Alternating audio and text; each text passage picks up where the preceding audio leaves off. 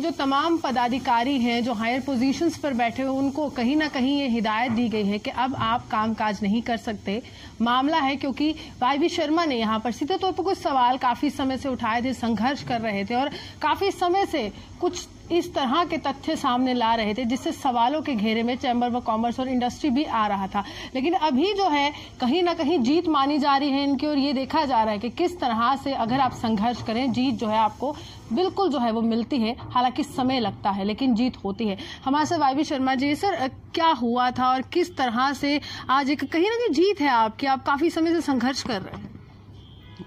ऐसा है कि मैं इसको, इस ढंग से अभी नहीं कहूँगा। एक स्ट्रगल ज़रूर थी कि chamber of commerce and industry एक हमारी अपेक्स ऑर्गेनाइजेशन है जम्मू प्रोविंस में, जो पिछले 80 प्लस ईयर्स से स्थापित हुई है और अपनी जिम्मेवारियों को निभा रही है। तो हमारे यहाँ बीस से लेके आगे इन, जो हमारे इस वक्त प्रेसिडेंट हैं मिस्टर राकेश गुप्ता, वो प्रेसिडेंट बने। 2014 में बने, फिर उन्होंने दोबारा इलेक्शन कंटेस्ट किया बीस में। और ये हमारी जो टर्म होती है, ये दो साल की होती है। और फिर वो बीस में दोबारा जीते। फिर बीस तक, मार्च, अप्रैल तक उनकी टर्म थी। और अप्रैल में, बीस में इलेक्शन होने चाहिए थे। तो तमाम लोग जैसे ऑर्गेनाइजेशंस के इलेक्शन के मुतलक इंतज़ार करते हैं, वो करते हैं। और एक ऐसा माहौल पैदा होता है कि या तो कोई नया शख्स आगे आता है या पुराने ही कंटेस्ट करते हैं। रिप्रेजेंटेटिव कोई भी हो लेकिन वो कंटेस्ट करना ज़रूरी है।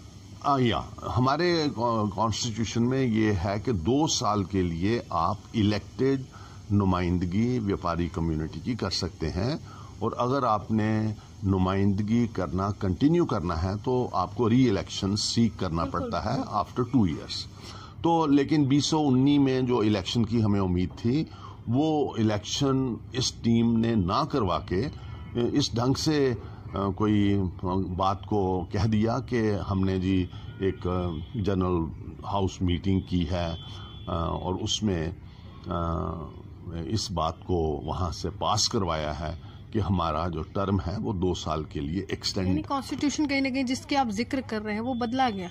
उस मीटिंग में कॉन्स्टिट्यूशन को फॉलो नहीं किया गया। कॉन्स्टिट्यूशन बदला नहीं। कॉन्स्टिट्यूशन को फॉलो ना करके एक अपने ढंग से एक बात को नई चीज़ें तय किया गया और उस मीटिंग में ये कहा गया और ये चीज़ जो थी in the month of March बीसो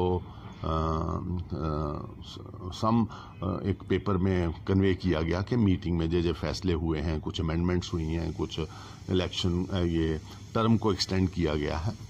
तो वो दैट वाज वो that had not gone well with the members of the chamber of commerce and industry and they had taken strong exception to that कि विदाउट इलेक्शन आप office bearers की uh, जो uh, वो नहीं आप uh, उसको नहीं बन सकते दोबारा office bearers you will have to face the elections and then you can be representative of the chamber उसी के उसी के ऊपर जो पिछले दिनों कोर्ट में जाना पड़ा और कोर्ट ने उनको ये हदायत दी कि आप they are restrained from holding the positions of respective positions up to a particular date और अब ये एक अच्छा, बैंक के खातों की भी बात की जा हाँ, रही उन्होंने ये भी कहा भाई आप कोई चीज़ बैंक के खाते ऑपरेट नहीं करेंगे और कोई एज ए ऑफ़िस बियर नहीं नहीं, नहीं करेंगे एक्ट नहीं करेंगे। तो ये तमाम बातें हुई हैं। तो सारी बात मैं इस ढंग से as a past president of the organisation as a past president of the chamber of commerce and industry मेरी यही सलाह रहेगी कि हमें इस अपेक्स ऑर्गेनाइजेशन के कॉन्स्टिट्यूशन के प्रोविजंस के स्पिरिट की आदर करना चाहिए और मर्यादा के अनुसार हमें चलना चाहिए। और अगर उसमें यह लिखा हुआ है कि दो साल के बाद इलेक्शन होने हैं तो दो साल के बाद इलेक्शन इससे पहले भी सर आपकी तरफ़ से प्रेस कॉन्फ्रेंस भी की गई थी। काफ़ी समय से अगर मैं कहूँ अदालत का संघर्ष तो था लेकिन मीडिया के सामने भी आप अपना संघर्ष ला रहे थे आप दिखा रहे थे कि मैं ये चाहता हूँ कि कॉन्स्टिट्यूशन के दायरे में रहकर काम हो लेकिन कहीं ना कहीं कुछ ऐसे रातों रात फैसले लिए जाते हैं जो मुझे नागवार गुजरते हैं। लेकिन तमाम वो लोग आपके साथ थे उनका क्या मत था? नहीं नहीं, बस यही था वो सारे लोग। अगर हम इकट्ठे उस वक्त थे तो हमने सोशल मीडिया, एसएमएस के थ्रू भी पब्लिक में इस अवेयरनेस को फैलाया कि जो है, इलेक्शन ड्यू है, इलेक्शन होने चाहिए। व्यापारी वर्ग से मुलाकात की आपने उस समय, उनकी मत जानने की कोशिश की, आखिरकार टेन्यूर क्यों बढ़ाया गया? तो खैर वो सारे लोग क्लियर थे कि इस तरह की हमारे संविधान में कोई प्रोविज़न ही नहीं है। आप एक्सटेंशन ऑफ़िस बियरशिप की हो ही नहीं सकती। आपको दो साल के बाद इलेक्शन कंटेस्ट करने ही है। ये तो क्लियर कट कॉन्स्टिट्यूशन में लिखा in the month of March in sorry in the month of April after every two years election will be held and और इलेक्शन हेल्ड करना इलेक्शन को होल्ड करना या कॉन्स्टिट्यूशन में किसी तरीके की तरमीम करना कॉन्स्टिट्यूशन को अमेंड करने के लिए प्रोविज़न कॉन्स्टिट्यूशन में अलग अलग तरीके से हैं और इलेक्शन होने का तरीकाकार अलग तरीके से है। उसके लिए बाकायदा एक प्रोसेस है। आपको अगर जनरल हाउस मीटिंग भी कॉल करनी हो, उसके लिए न्यूज़पेपर में बाकायदा देना पड़ता है कुछ दिन के, कुछ दिन का गैप रख के। और वो जो दिया जाता है, फिर उसके बाद बाकायदा मीटिंग जो है वो उसके लिए एक एजेंडा सर्कुलेट करना पड़ता है।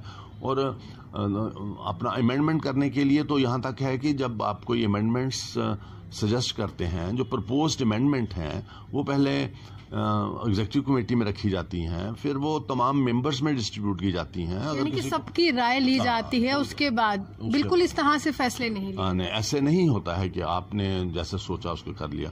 यहाँ तक कि ये कहा जाता है कि जो वो मीटिंग हुई एक इन्होंने जनरल हाउस की जो मीटिंग की उसमें उनके ना जनरल सेक्रेटरी थे ना उनके सेक्रेटरी थे और ना एजेंडा मेंबर्स में उनको सर्कुलेट किया गया। लोगों को मालूम ही नहीं था कि उस मीटिंग में क्या होना है। और कई चीज़ें वहाँ पर डिस्कस ही नहीं हुई और उनका ज़िक्र किया गया जो मिनट्स ऑफ़ द मीटिंग जो अखबार में शाया किए गए। तो कुल मिला के आपसे यही हमारी ये कहना रहेगा कि इलेक्शन प्रोसेस को फॉलो करना चाहिए। व्यापारियों की ये अपेक्स बॉडी है जिसमें ट्रेड और इंडस्ट्री की रिप्रेजेंटेशन पिछले कई सालों से हो रही है। तो उससे एक इलेक्शन हो जाए तो हर व्यापारी कब तक उम्मीद है सर कि अब कहा जा रहा है कि अब ऑफ़िस बियरर की पोजीशन पर नहीं रह सकते मनी ट्रांजैक्शन नहीं हो सकती आप वो तमाम चीज़ें एंजॉय नहीं कर सकते जो काफ़ी समय से आप कर रहे थे। उम्मीद है कि अब जल्द इलेक्शन होंगे। नहीं हम तो ऐसी ही उम्मीद करते हैं कि ये सारी प्रोसेस जहाँ इस तरीके का जो एक माहौल जहाँ कोर्ट में जाया गया है कि एक इलेक्शन कमेटी या इलेक्शन कोई ऐसी तश्कील की जाए, उसको बनाया जाए और इलेक्शन का करके जो लोग कंटेस्ट करना चाहते हैं, वो आगे आए और इलेक्शन चलिए, शुक्रिया। साफ़ तौर पर काफ़ी समय से संघर्ष कर रहे थे, अदालत का दरवाज़ा भी खटखटाया गया, लेकिन तमाम व्यापारी वर्ग इनके साथ थे। जब प्रेस कॉन्फ्रेंस की थी, श्री न्यूज़ ने भी आपको प्रेस कॉन्फ्रेंस दिखाई थी लाइव दिखाई थी और बताया था कि किस तरह से एक आवाज़ उठी है कि टेन्योर अचानक कैसे बढ़ा दिया गया। क्यों जो है संविधान की कद्र नहीं की गई, उस बॉडी की कद्र नहीं की गई, उन सोच की कद्र नहीं की विचारधारा कहाँ गई? ये बड़ा सवाल था, लेकिन एक जीत के तौर पर ही है, क्योंकि संघर्ष रंग लाया है। उम्मीद है कि जल्द ही यहाँ पर इलेक्शन होंगे और तमाम वो लोग जो रिप्रेजेंटेशन के मायने जानते हैं, जो जानते हैं कि किस तरह से तमाम व्यापारी वर्ग की आवाज़ बुलंद करनी है, वो सामने आएँगे। इसी के साथ कैमरामैन गुलशन कुमार के साथ मैं रूहानी आपसे बता लेती हूँ। नमस्कार।